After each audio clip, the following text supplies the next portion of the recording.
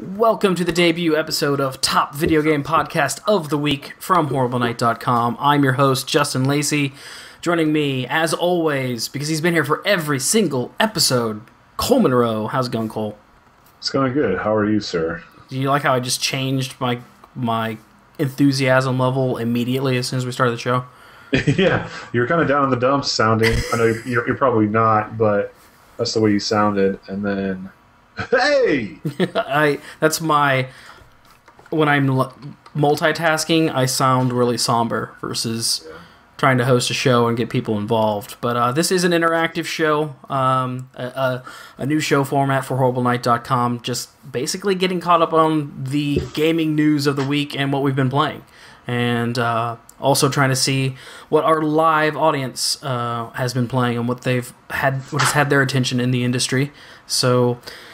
Um, you can submit your answers before the show on our Facebook page, and uh, also uh, give us give us a shout in chat uh, if you're joining the show, and or leave us some comments if you're watching afterwards. But uh, let's get rolling with just uh, what were you up to this weekend, Cole?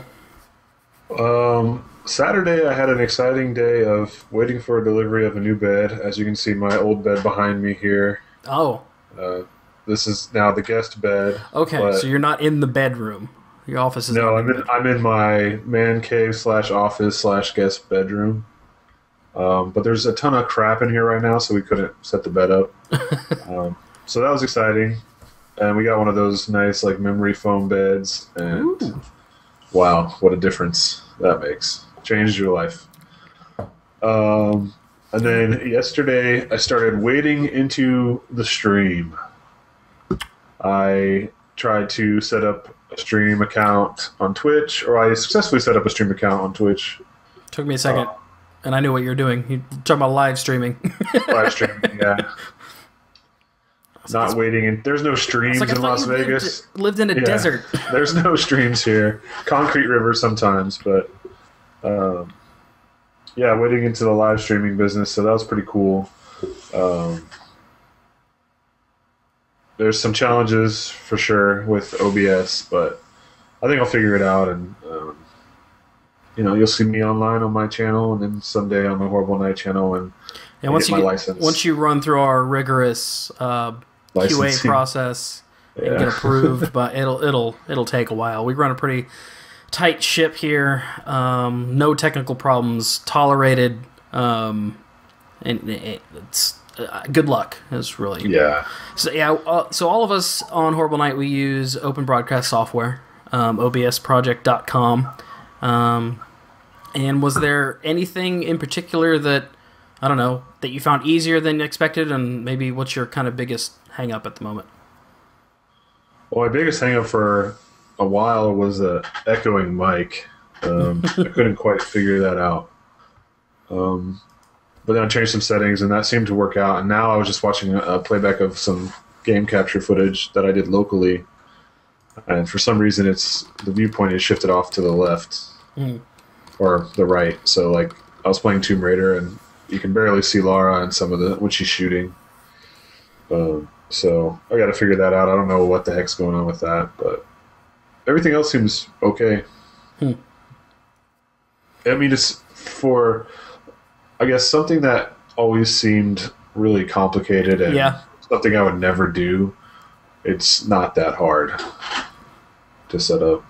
I was yeah we we've all been kind of surprised. It's a matter of just there's enough tutorials out there that if anybody wants to do it, it's, I think it's more a matter of do you have the computer and the um, internet connection to handle it. So um, yeah, does take And a now, processor. right. And now with the open, the OBS, like it's free instead of buying XSplit or something else. So it's a little more attainable for a lot more people.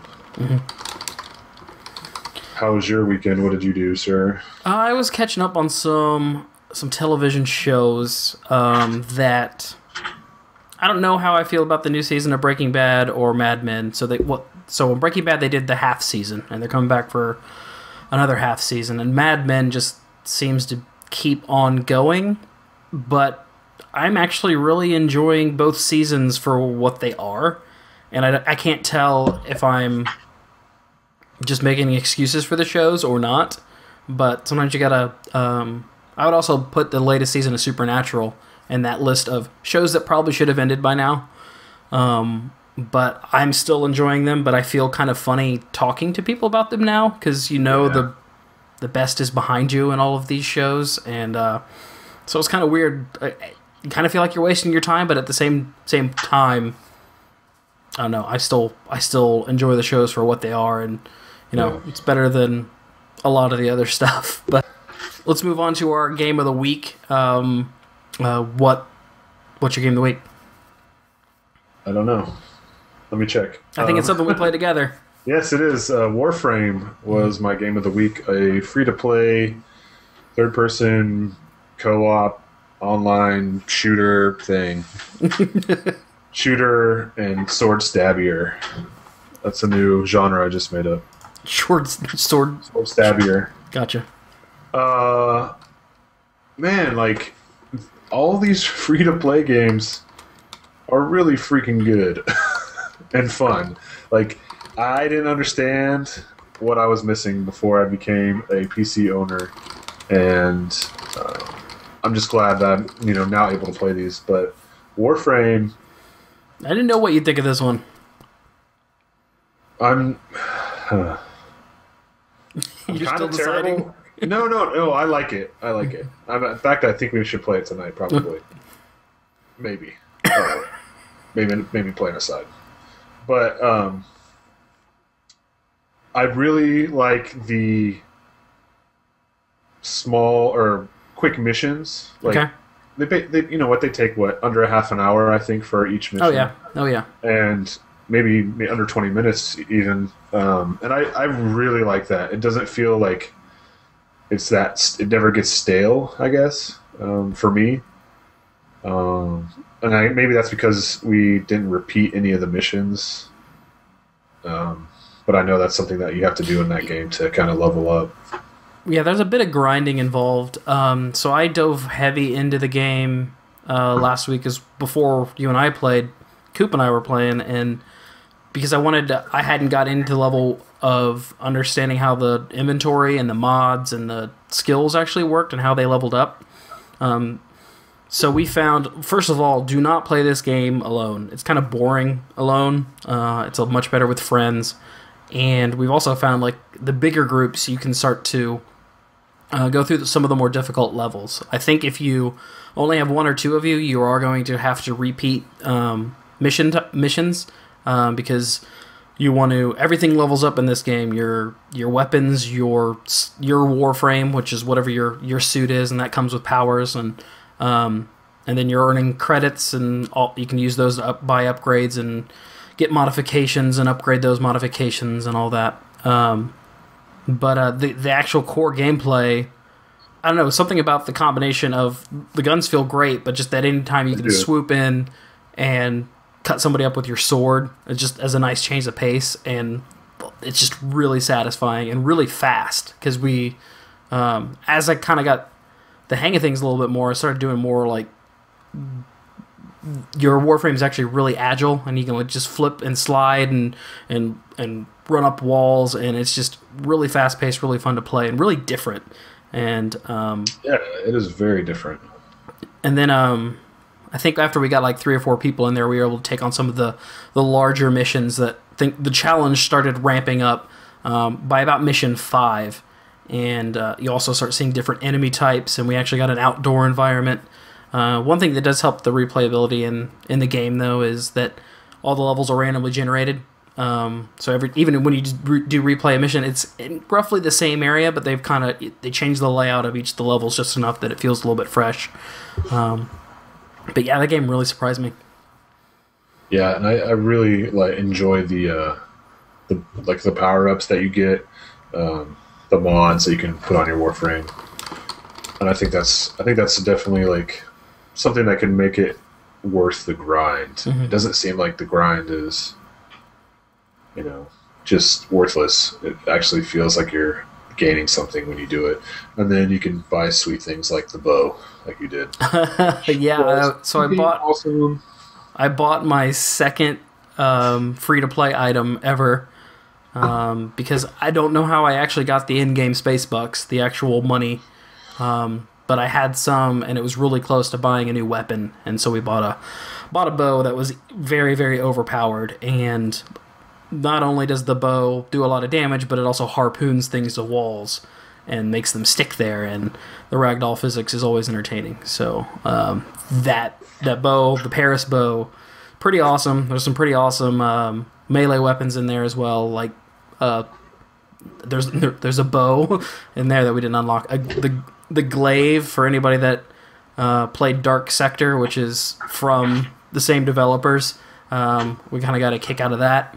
And uh, but yeah, free to play. Uh, if you've got a small group of people, I think it's a nice change of pace from um, other co-op games or other like we've been playing a lot of PlanetSide recently, but just going the more of the smaller focus scale and just you know grouping together for for missions is it's a lot of fun.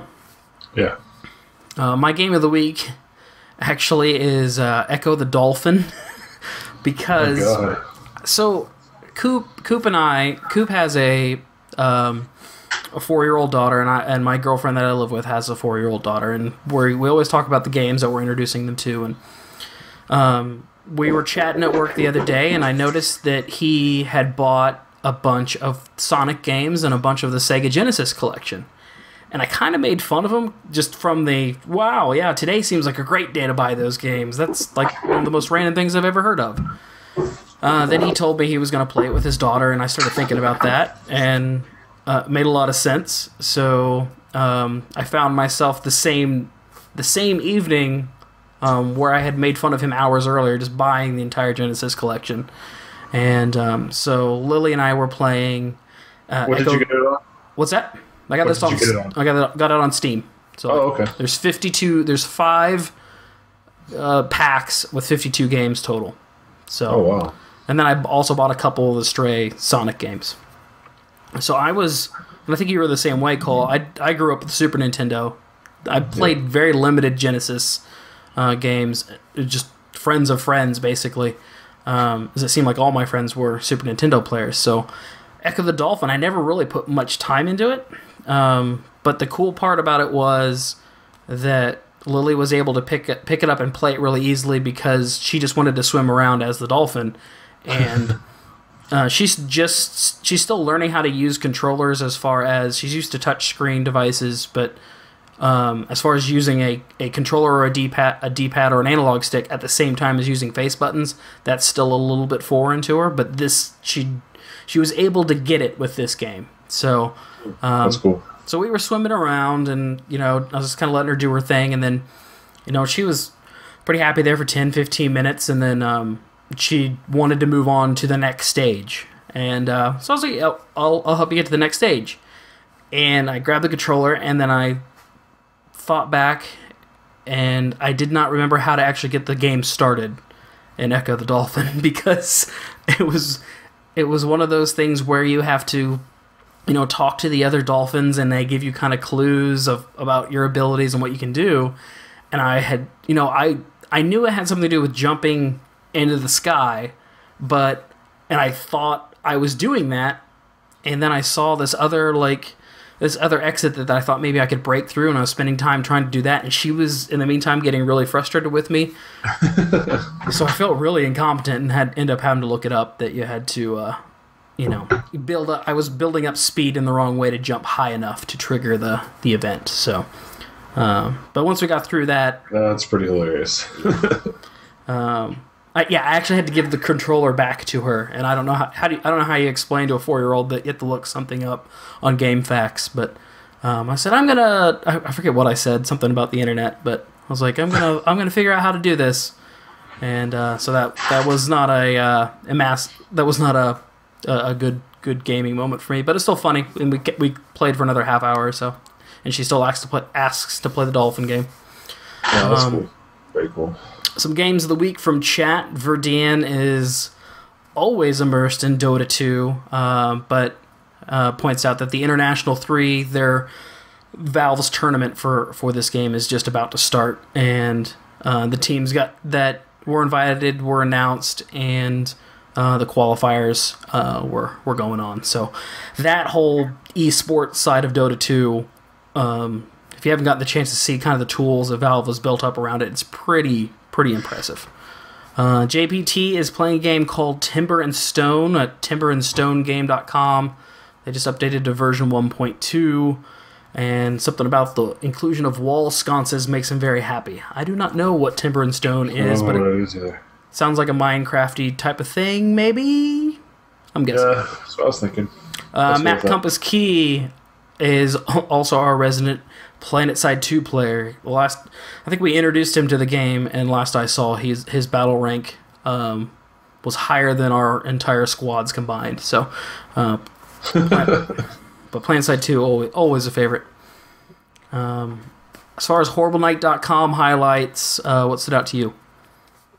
Uh, we had the first 50 night moves highlights compiled into one long clip show, um, which I was very entertained by. You know, you basically took uh, took a clip of each highlight that you've posted on the site and kind of strung them together in no particular order or fashion, and um, said, "Here, watch this," and I did, and I enjoyed it.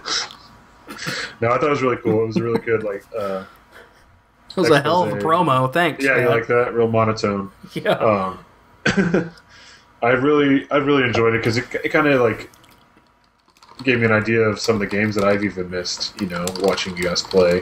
Mhm. Um, so I think it's it's a good it's a good introduction to the site in terms of our streaming uh, capabilities and lack thereof, and uh, I don't know, just kind of gives us gives people an idea of what to expect and expect really bad screaming and yelling and It's a lot of screaming, a lot of cursing. really bad uh, lot of failures. Yeah, really bad playing a video game. So That's a, that's the biggest Good thing I've. I've learned since we started streaming is just how terrible we are at video games. But I think we also have more fun than anybody. So That's hopefully, true. hopefully that comes across. But, but yeah, we were. I was posting a couple highlights last week and just kind of realized we'd crossed that threshold, and I was like, I wonder if we can't make a little compilation video out of this, and came to better came together better than I thought. Um, so if you're a fan of the site at all, recommend checking that out or uh, help us uh, promote our live streams and share it with a friend. We'd appreciate it.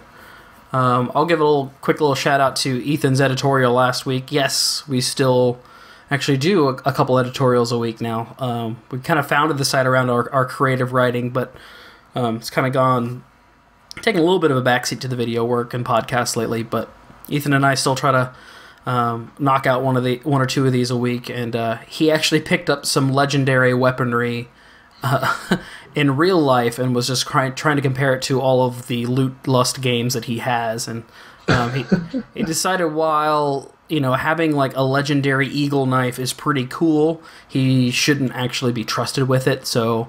Um, on the other, on one hand, he should probably stick with the games, but on the other, he said it kind of lessened um, the loot lust in video games because once you have something for real, it, it kind of trumps all that stuff. So, thought that was kind of a a random Ethan take on something I'd never thought of before. And yes, Right. don't do not give him knives. I don't know who sold that to don't him. give him anything. I don't. He'll know. find a way to hurt somebody with something.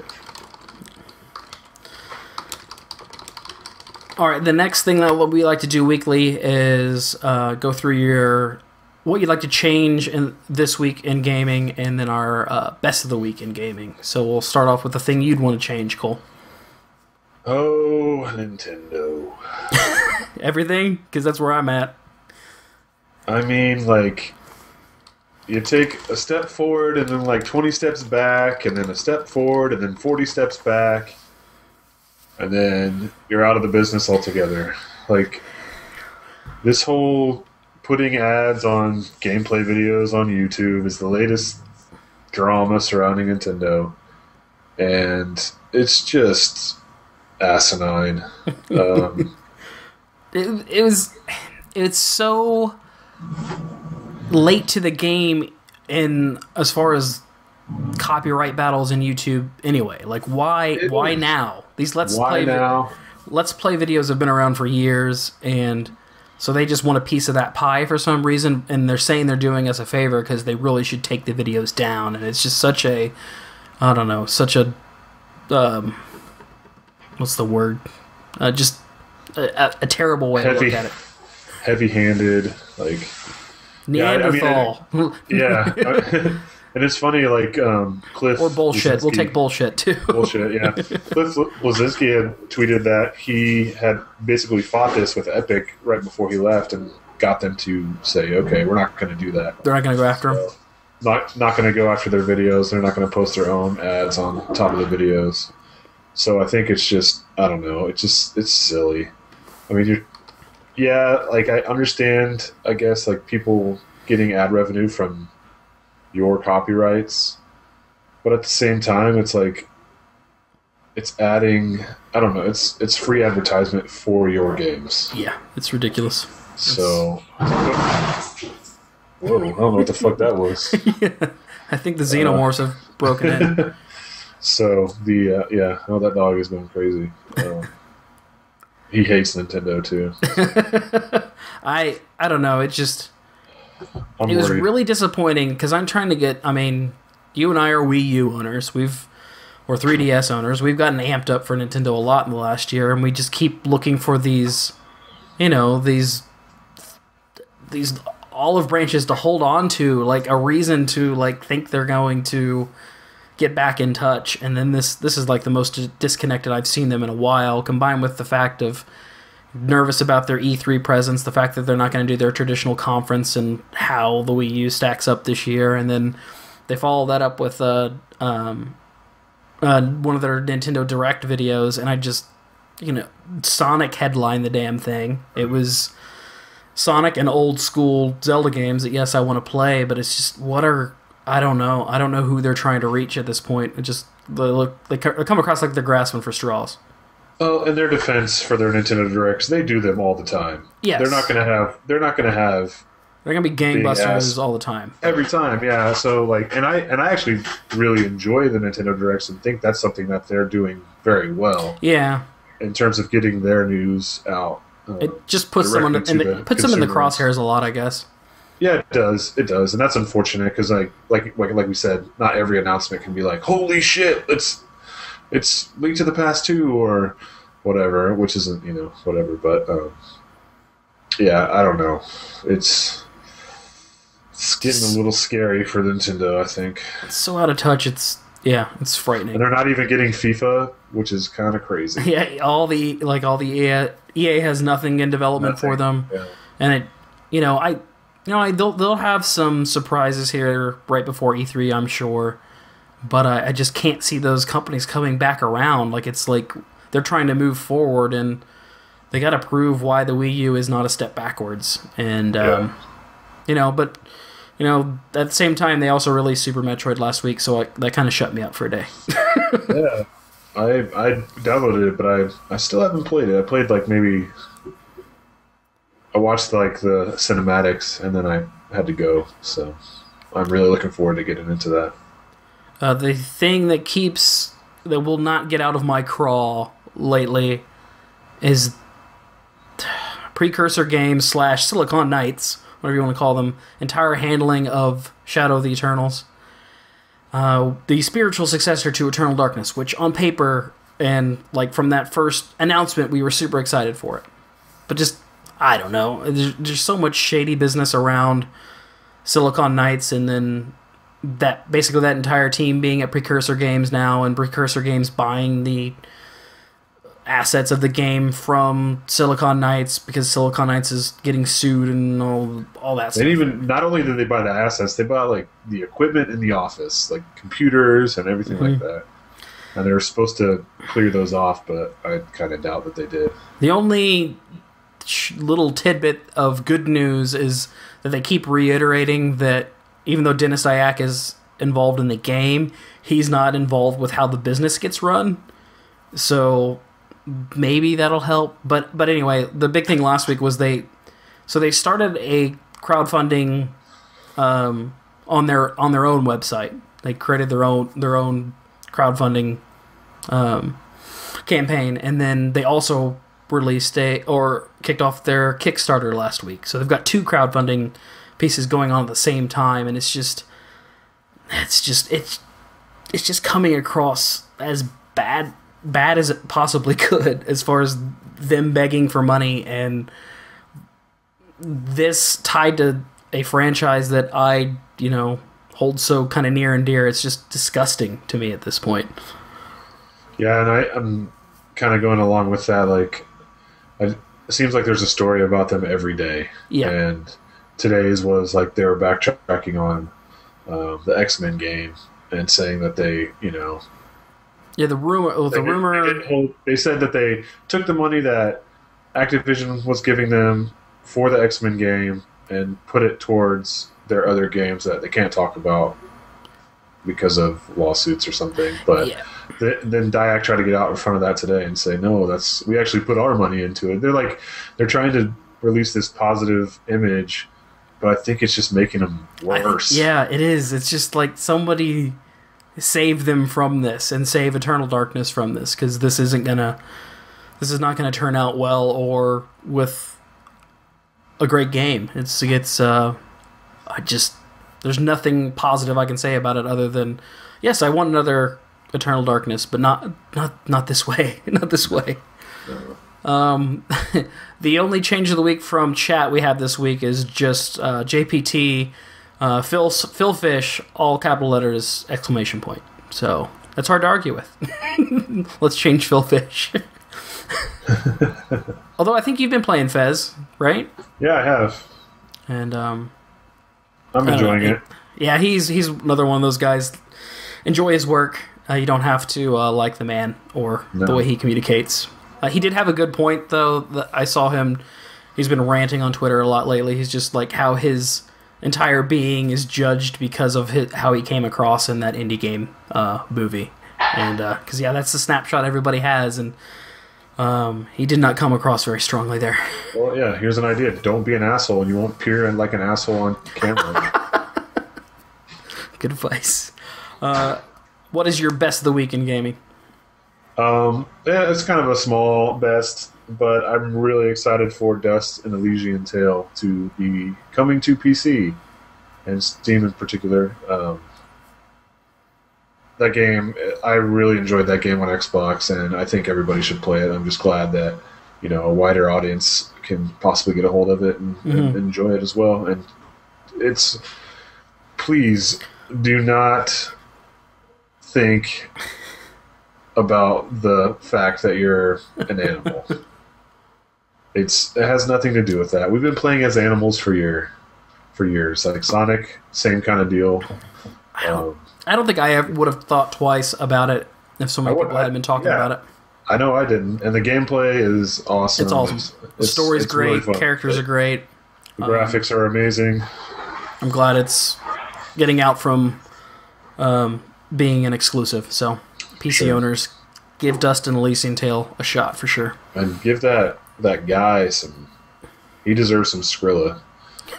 he, he, Yeah, uh, he's he's a hardworking man. he's a one one dude studio who built that game. So Uh, my best of the week is Double Fine, um, continuing to go after trying to get rights to some of the games they've made recently, namely uh, Stacking and Costume Quest, um, because THQ actually produced those games, and in the recent THQ auctions, uh, Nordic Games picked up the rights to uh, Stacking and Costume Quest, and like they just bought this big package of games essentially, and that was a part of it. And Double Fine didn't raise enough money to um, to get those outright, and they're so they're negotiating negotiating with Nordic just to try to get those games back underneath uh, the Double Fine banner. Not he he says just more for uh, Tim Schafer said it's just more for nos- nostalgia, and you know the just they want to have those games are kind of their kids, and they want to you know just be able to take care of them. Not, they're not necessarily going to do more with them. It just kind of seems like the right thing to do,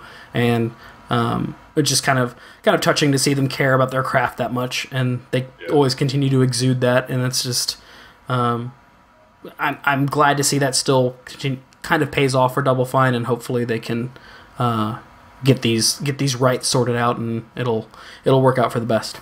yeah, it's so crazy to think like what three years ago they were they had Brutal Legend coming out, and like basically their whole studio was riding on the fact of that game, and then now all of a sudden they just downscale to all these different Yeah. pieces and have become like the industry darlings almost. And then we get we get more Double Fine games because of it. I mean, Yeah, yeah. win, win, win, win, win. And I mean, uh, they're right after Brutal Legend, um, and then they they did their little game jam thing, and they had they released a game a quarter, didn't they? yeah. That year. Yeah. So Uh, from chat, uh, Verdian is excited that the API for Guild Wars 2 is now in testing, so third party websites and apps can hook into the world um, and get real time information. Um, which that was always been one of my favorite aspects of World of Warcraft when I was heavy into that was how I could access that game for pretty much anywhere, like especially with apps, and not every every game um, has that option. And if you're if anybody if you've ever played uh, an MMORPG, you get. I mean, obviously the whole focus is getting attached to your characters and being able to being able to access them through anything else outside the game is always useful. So that's uh, uh I understand his excitement. Um, and then JPT's uh, was talking about the Civcraft Minecraft mo- mod. Um, apparently, it got so popular they had to shut down the server, but it's essentially uh, Civilization meets Minecraft, uh, which sounds like they need more hours in the day to play that because that's ridiculous.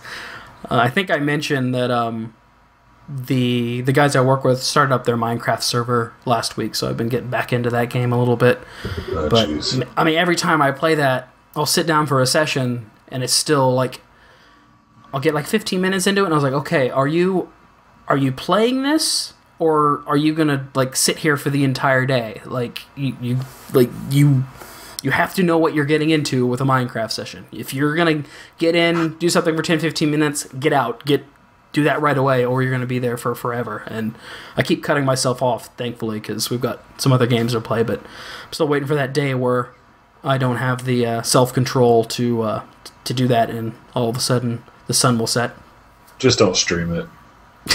Oh, it'll happen. I'll probably do it from That's my, my personal channel. Yeah. Oh, come on, I'd be entertaining.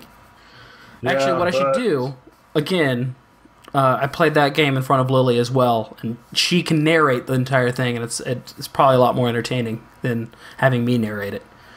That's yeah. Just put her on the mumble and let her go. All right, chat. Our question of the week before we get out of here. Uh, we want to know your last minute new Xbox predictions. The uh, the new Xbox reveal uh, happens at 10 a.m. Pacific time Tuesday, um, and I'll actually be hanging out in chat during during the show. If you want to come uh, come chat with me, and we can react to the live stream uh, together. And then Ethan and I will be podcasting about it Tuesday night. Uh, but what we want to know is uh, what's one thing you can guarantee is going to be announced, and what's one thing you don't think will happen. Um, yes, I don't think the Xbox plus Easy Bake Oven is going to happen. So, warm Although up brownies with cook with the yeah. I was gonna say the heat of the They could uh, living room system. they could announce an Easy Bake Oven like for their leftover 360s, all the overheating leftover 360s, or ma- make use of make use of that. Uh, do you have any predictions? Anything? What do you What do you expect to tomorrow? I really think that they're gonna go for the whole living room box Yeah, and have more uh, like a cable a cable TV interaction. You know, so you can have everything go through there. Have that be all in one. Um, did you see the? Have you seen the IllumiRoom thing? yeah, That's kind of crazy. like the I reverse holodeck. yeah, that's uh, I I don't know that that seems silly to me, but um, so I don't think they'll announce that. I don't think we're gonna get. I'd be surprised to see if we get a box. Um, I think we'll get a box tomorrow. like. You think you you think so? You don't think they'll hold off to it just because of the reaction that PlayStation had? I think just be no. I think well, I think that's probably driving them to sh- get a step ahead of them. Um, but um, by showing that off, but uh, I think because they've also mentioned that E3 is going to be all about the games. I think this will be just all Okay, that hardware focused. That makes sense. I don't think we'll get a. We won't get a price. We won't get a. Nah. I'd be surprised if we get a release date. Um, any of that other than holiday. Um, Is that gonna be always on? always No. connected? No, and they won't talk so. about I don't think so. No, they won't either. I- They'll they'll make some mention that it'll support offline play, but they won't like focus on it. Um, we'll see like we'll see Call of Duty and FIFA. I think yes, Call of Duty Ghosts I think is one of the confirmed reveals. and Um, FIFA. I think FIFA's confirmed too. and there's probably be a Forza game. It sounds like. Yeah. Um, and Do but I don't think. the, Do you think the controller changes? I hope not. I know Um, it's pretty I much think yeah. I think a little bit like some sort of touch or something.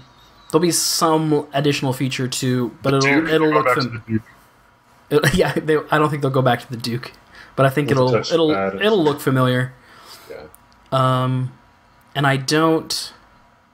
I, think you can guarantee they're going to have some major hardware tie-in, and I think it'll be cable company related because my theory all along has been they they seem to be shunning a lot of the indie developers lately. Like all the indie developers are touting um, Sony, and I and honestly, it's Xbox Live Arcade's been kind of weird in the past year and a half as far as ex- exclusive games go, and they just don't be they don't seem to be hitting that as hard.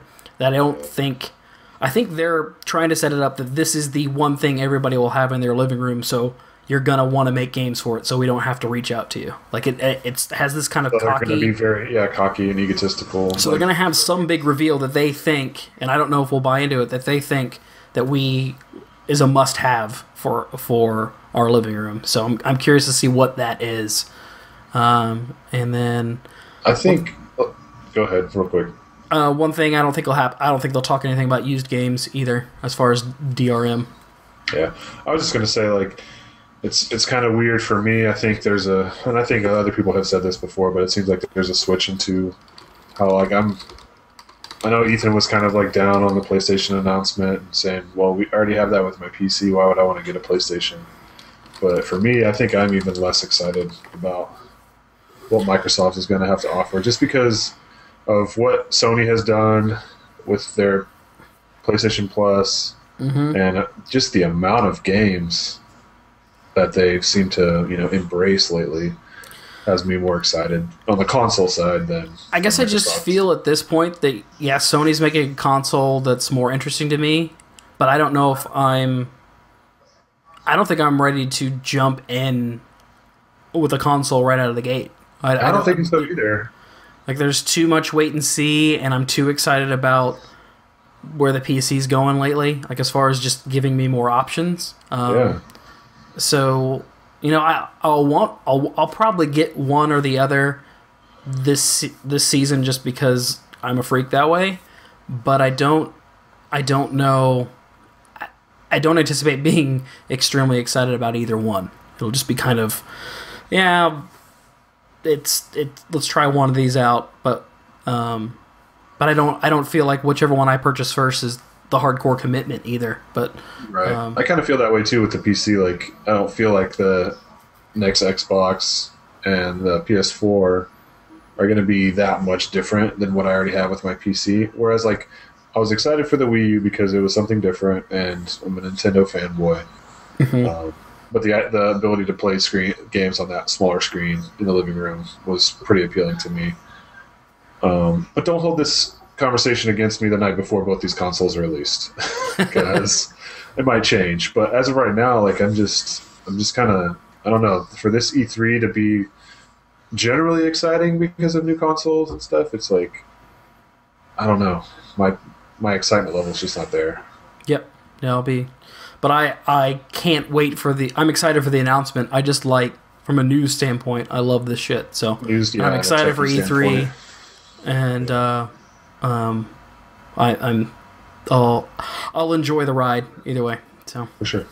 uh, I was taking a list at look at new releases uh, for this week. We mentioned Dust: An Elysian Tail come to PC. Um, oh, the game everybody's been waiting for, Fast and Furious Showdown, is going to be available for PC and Wii for everything. It looks like even Wii U. I think the big the big release of the week is Resident Evil Revelations across uh, platforms. Looks like PC, Xbox 360, PS3. That's the 3DS game, and supposedly the the best Resident Evil of the last few years. So. Uh, there's also the Incredible Adventures of Van Helsing. Uh, it's gonna be 15 bucks on PC. Uh, action RPG. Just ca- caught my attention from some gameplay footage I saw, but very Diablo esque, but with the Van Helsing um, storyline behind it. Uh, there's another Call of Juarez game. No, thank you. Donkey Kong Country Returns 3D. yep, 3DS. So it's Uh, the remake of the Wii game, which I'm actually excited about because I never played the Wii game. Yeah, it's supposed to be hard as hell too. So yeah, get ready. But I, I will probably be checking that out. So, um, that's it for for releases. Uh, oh, uh, excuse me, sorry. PSN on Vita, a game called Men's Room May Men's Room Mayhem. So I don't know what that is, but it's probably worth checking out a Very Japanesey sounding. gameplay video. Sounds messy. Sounds messy. Uh, My wife just said that's racist. Uh, chat, thanks for hanging out, um, letting us know your game of the week, etc. Uh, we'll be doing this show weekly. Uh, Monday nights is uh, probably when you can expect us around 9:45 uh, Eastern time, and then. Um, but if we can't go on Mondays, we'll go on Thursdays. So be on the lookout for Cole and myself, along with uh, random guests from the Horrible Night staff. Um, then after each show, we will be doing some multiplayer gaming. Um, and we'll try to announce that on the site prior to prior to the show. Um, you will be able to subscribe to this show on iTunes starting next week, um, and then we will, as always, release the video and on on YouTube and the audio podcast on our site the day after uh, we do the live show. But we hope you can join the live show or at least uh, participate via Facebook or in chat because uh, we want this to be as interactive as possible. And um, looking forward to getting going with top video game podcast of the week. Hope you like the show. Let us know in uh, the comments, and we will be back with some gaming here shortly. Thanks, everybody. Bye. Thank you for listening. You're so polite.